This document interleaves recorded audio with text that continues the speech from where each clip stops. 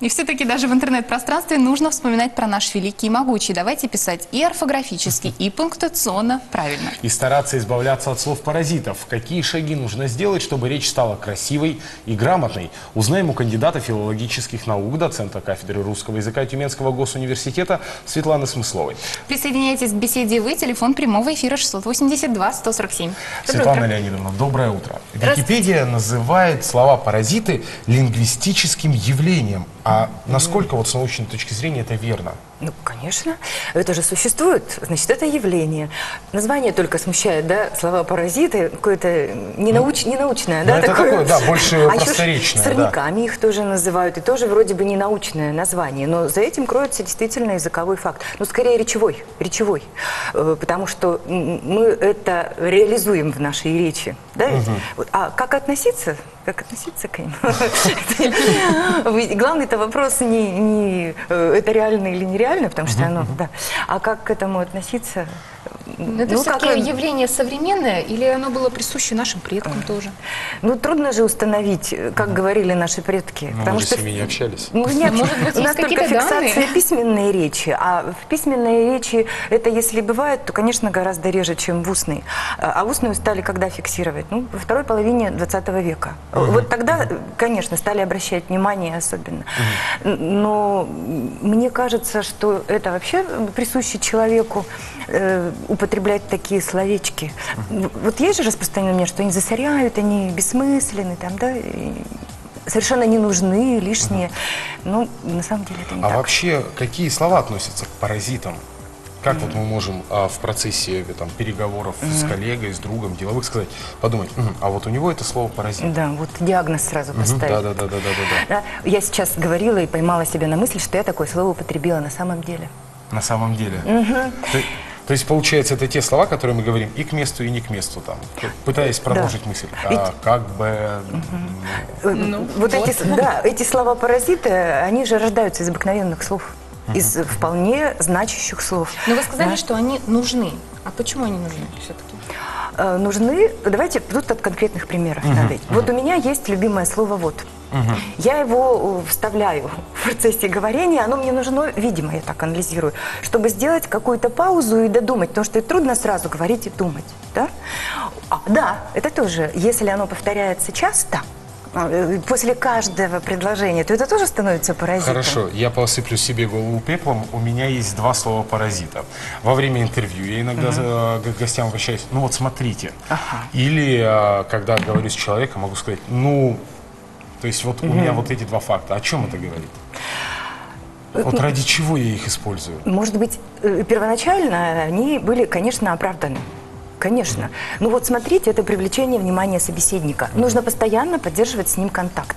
И также вот когда, понимаешь, знаете, это же вот поддержание контакта. И вот этот, кстати, вопрос «да», э, когда и вопрос-то, в общем, не задается, а нужно просто проверить, слушает тебя или нет человек. Он понимает тебя. Значит, есть оправданность все-таки, да, этих слов. Просто вот ну как же сказать-то? Вот у нас бывает же такое в голове, какая-то мелодия застрянет, и никак от нее не избавиться, пока другой мелодии не перешибет. Точно, точно так же со У словами. женщин, видимо, так, у меня так же. А вообще слова-паразиты, да, если мы их продолжим так называть, они существуют только в русском языке или в иностранной речи и они тоже присутствуют? Сталкивались? Я, конечно, не специалист э, в иностранных языках, но ученые говорят, что это свойственно Всем всем, людям. людям. Да, во всех языках есть подобные слова.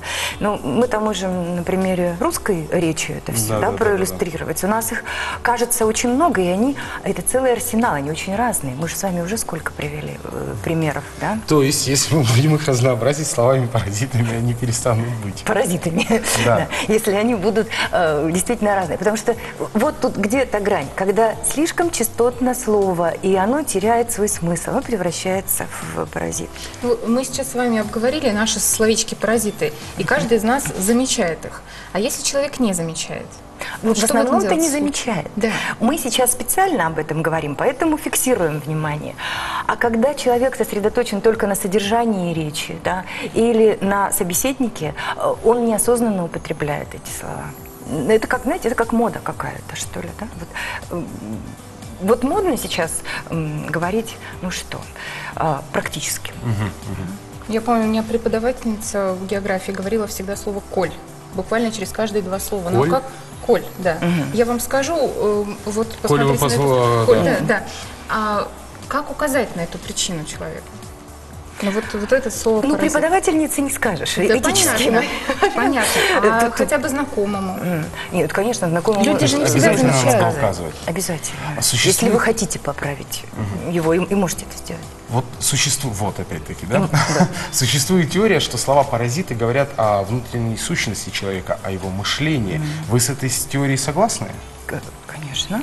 Любое слово отражает наше восприятие мира, также и слово «паразит». Да? Э, Если человек употребляет «как бы», то мы ведь можем многое понять об этом человеке, о его социальном статусе, о его настроении в данный момент и о его психологии вообще. То есть слова паразиты еще и могут меняться от настроения. Конечно, могут меняться от настроения, от ситуации общения.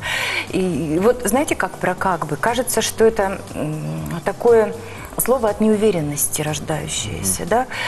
А вот сейчас выясняется, что иногда очень уверенные в себе люди его произносят э, в той ситуации, когда хотят выглядеть не очень напористыми, не очень такими То есть сгла- жесткими, да. сглаживают ситуацию. Ну, получается, конечно, очень забавно. Я э, как бы работаю как бы в университете. Я как бы филолог, как бы Вот как раз о том, что вы там работаете.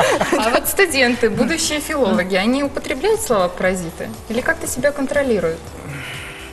Конечно, употребляют, как все люди. Вот слово «практически» я сказала, оно очень модно у молодых людей. Да? И еще есть эм, такое слово по ходу, но оно, конечно, для неформального общения, да?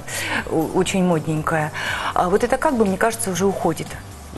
Э, м, Может быть, вы слышали про то, как у нас на отделении журналистики, э, давненько это правда было, эм, за каждое как бы студент должен был, и преподаватель, кукарекать. Да-да-да, я слышал да. про это. Таким, таким способом боролись. Но, но сейчас э, уже этой борьбы нет, потому, потому что ну, такого увлечения этим нет. Но есть еще типа.